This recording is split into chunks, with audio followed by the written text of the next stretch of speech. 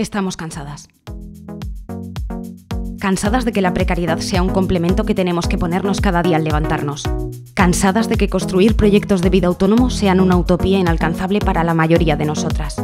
Cansadas de que el sistema nos prive del acceso a una vivienda digna y nos veamos obligados a seguir viviendo con nuestros padres indefinidamente. Cansadas de que nos exploten en el trabajo y que encima la excusa sea que nos pagan con experiencia. Cansadas de unos salarios indignos que perpetúan nuestra situación de precariedad. Y la cosa no parece mejorar. Cansadas de estar sobrecualificadas para ejercer nuestro puesto de trabajo. Cansadas, pero no resignadas. Porque nuestro futuro lo decidiremos nosotras y pobre de aquel que quiera ponerse enfrente.